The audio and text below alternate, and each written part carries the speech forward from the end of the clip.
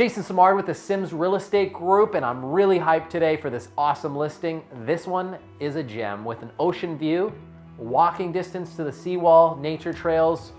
You're gonna love it. Let's check it out.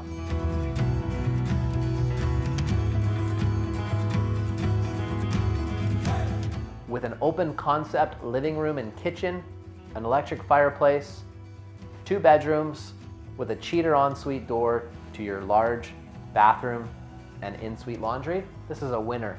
You'll definitely get a lot of value for your money here. The engineered hardwood flooring, the granite countertops in the kitchen,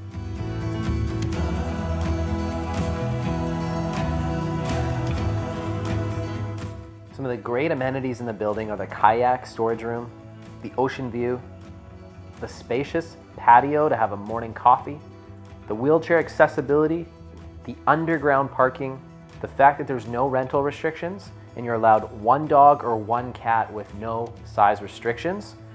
Some of the other little bonuses with this are the fact that there's a really great common area and a workshop in the building.